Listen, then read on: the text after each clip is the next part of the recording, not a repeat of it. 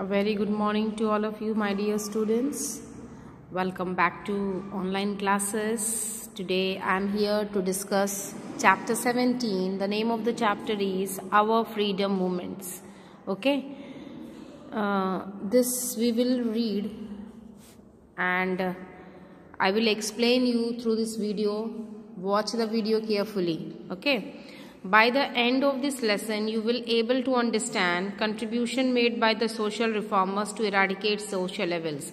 मतलब इस चैप्टर के थ्रू आपको ये समझ में आएगा कि क्या कंट्रीब्यूशंस था सोशल रिफॉर्मर्स का जिससे सारे सोशल लेवल्स जितने भी सामाजिक बुराइयाँ थी कुरीतियाँ थी वो कैसे हटी? ठीक है? कितने सारे रेवोल्यूशनरीज थे?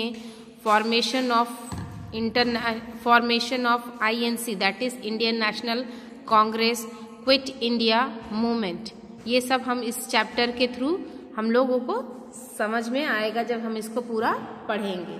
ठीक है? तो पहले हम इंट्रोडक्शन में देखते हैं कि क्या दिया हुआ है। Introduction the revolt of 1857 shook the foundation of the British rule in India and kindled at urge in the hearts of Indians to become free. They felt that they they should remove their shortcomings if they want to be become free. There were many social evils that prevailed in the society at that time, and there were many Europeans uh, and Indian soldiers, scholars who tried to eradicate social evils such as sati, child marriage, caste system, etc. from the society. See students, जैसे ही revolt of 1857 होने के बाद बहुत सारी सामाजिक बुराइयाँ बहुत सारी शॉर्टकमिंग्स आने लगे और there were many social evils too that prevailed in the society और बहुत सारे सोशल इविल्स सोसाइटी में उठने लगी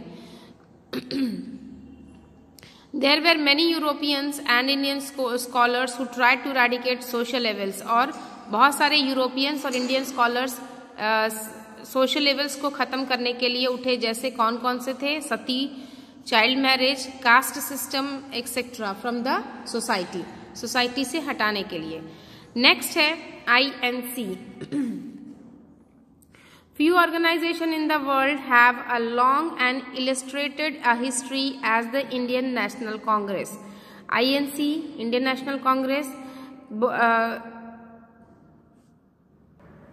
बहुत सारे ऑर्गेनाइजेशन कुछ ऑर्गेनाइजेशन वर्ल्ड के उठे और जिन्होंने आईएनसी को आईएनसी के लिए इतिहास बनाया उसमें कौन कौन थे Gopal Krishna Gokhale Lala Lajpat Rai, Mahatma Gandhi and Netaji Subhash Chandra Bose serve on its presidency ये सारे इसमें इन्वॉल्व थे। Here we have only focused on INC's contributions to India's freedom struggle ठीक है आईएनसी का contribution जो है freedom के लिए, वो हम लोग देखेंगे।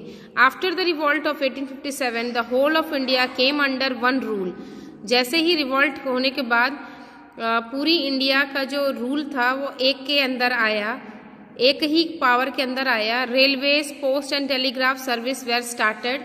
ये सारे सर्विस स्टार्ट होने लगे। And educated people got employment. जो एजुकेटेड पीपल थे, शिक्षित लोग थे, उनको एम्प्लॉयमेंट मिलने लगा।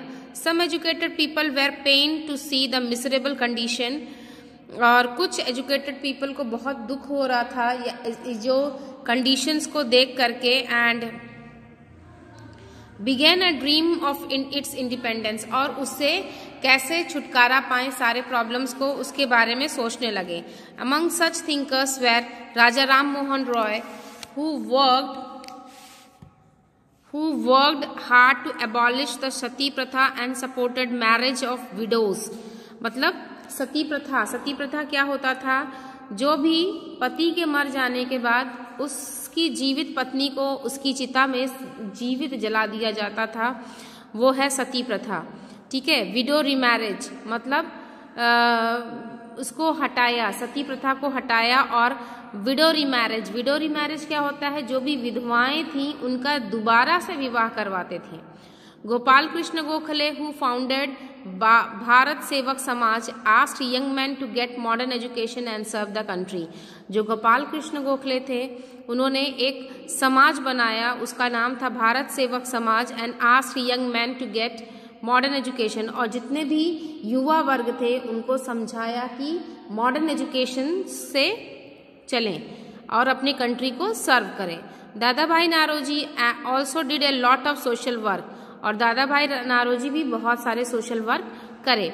INC was found by INC क्या है? Indian National Congress was found by sir A O Hume in 1885 in Bombay to create awareness among the people लोगों के बीच में जागरूकता लाने के लिए जो ग्रुप जो आईएनसी ग्रुप बना उसको आ, उस उसको उसके फाउंडर कौन थे? A O Hume the first session was held in Bombay and 72 delegates attended पहला सेशन बॉम्बे में बना और उसको कितने लोग अटेंड किए? 72 लोग.